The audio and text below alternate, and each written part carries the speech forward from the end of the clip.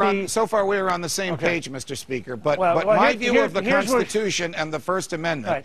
and I Here's would where you and I are hang, gonna- hang on, and I would submit the Supreme Court's view of the First Amendment differs from yours because the Supreme Court says Assange is protected as long as what he distributes is in the public interest. Clearly, this is in the public interest. We are fascinated with it. Some of it's good, some of it's bad, No, much of it is secret, some of it is meaningless.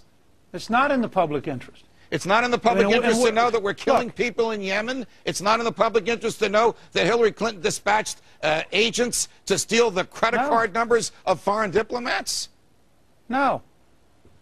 Okay. We're in the middle of, we're in the middle of a war. But the public This interest gonna is defined by the court as that which is newsworthy. It is newsworthy to know these Well- things because you and I and people like us have been talking about nothing but this for the past well, week. you and I no, you and I have a different standard. I'm an army brat. My father spent 27 years as an infantryman defending this country. Right. We are in a war. In World War II, no responsible journalist would have published any of this. In World War II, American journalists were patriots first. They didn't run around prattling about lawyer rights. They understood the difference between having the right to do something and whether or not it's the right thing to do. It is the wrong thing to do. It is going to get people killed. I think it is, it is despicable that the New York Times cares so little about America that it doesn't mind weakening us, that it doesn't mind well, putting should, people at should risk. the should the government that you would like to shut down WikiLeaks shut down the New York Times for publishing this and working along with WikiLeaks? No, no, no, because WikiLeaks is a different kind of institution.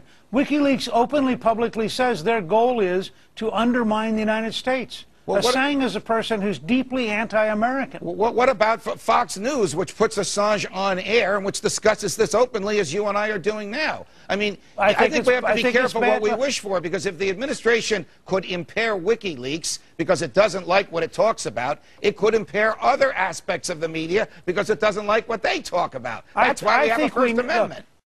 Governments around the world are calling Julian Assange of WikiLeaks, uh, WikiLeaks a terrorist. The government of Sweden is dredging up old but thrown out sexual assault charges against him as well. The absurd charge is that he had consensual sex with a broken condom, not a felony and not an, an extraditable offense, not even a crime in most of the world. But what you have a right to know is that the actions of Mr. Assange in releasing the secret documents are absolutely protected by the First Amendment. You'll remember this case. In 1971, the New York Times obtained a stolen copy of classified Defense Department documents, a study on U.S. political involvement in Vietnam. The study was dubbed the Pentagon Papers. When the Times published the report, the federal government wanted to censor the newspaper and prevent it from printing more of the classified documents. The government and President Nixon argued that the Espionage Act of 1917 trumped the First Amendment and gave the government the right and the power to censure the newspaper. Fortunately, the Supreme Court disagreed and ruled 6 to 3 that the First Amendment trumps the Espionage Act and that a free press was absolutely necessary and was the check on the government.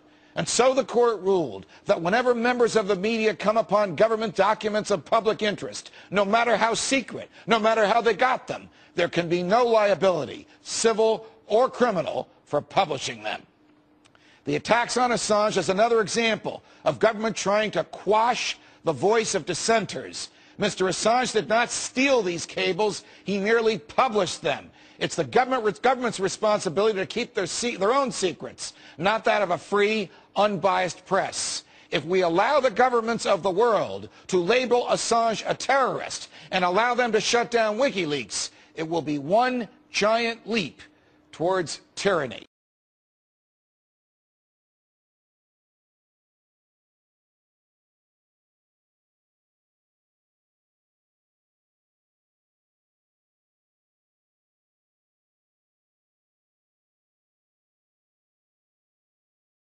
In releasing the secret documents are absolutely protected by the First Amendment. You'll remember this case. In 1971, the New York Times obtained a stolen copy of classified Defense Department documents, a study on U.S. political involvement in Vietnam. The study was dubbed the Pentagon Papers.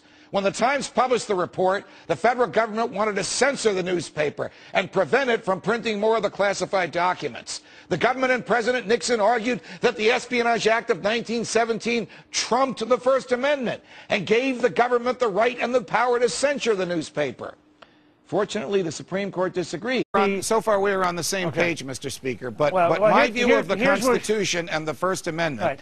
and I Here's would where you and I are hang, gonna- hang on, and I would submit the Supreme Court's view of the First Amendment differs from yours because the Supreme Court says Assange is protected as long as what he distributes is in the public interest. Clearly, this is in the public interest. We are fascinated with it. Some of it's good, some of it's bad. No, Much of it is in the public secret, some of it is meaningless.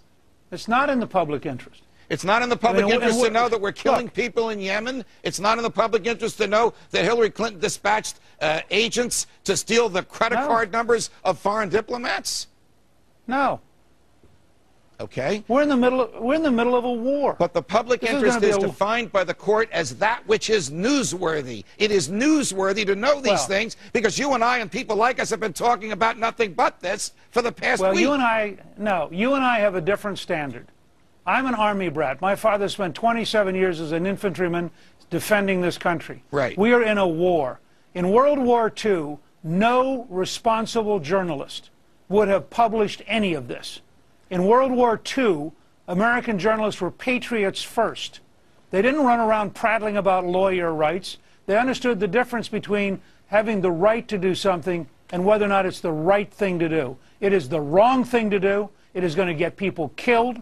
I think it is, it is despicable that the New York Times cares so little about America that it doesn't mind weakening us, that it doesn't mind Well, putting should, people at should risk. The, should the government that you would like to shut down WikiLeaks shut down the New York Times for publishing this and working along with WikiLeaks? No, no, no, because WikiLeaks is a different kind of institution.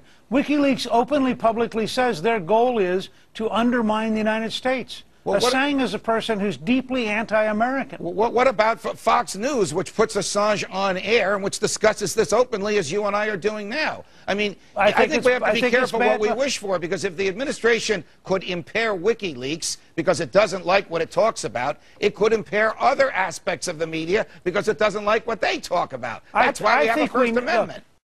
Governments around the world are calling Julian Assange of WikiLeaks, uh, WikiLeaks a terrorist.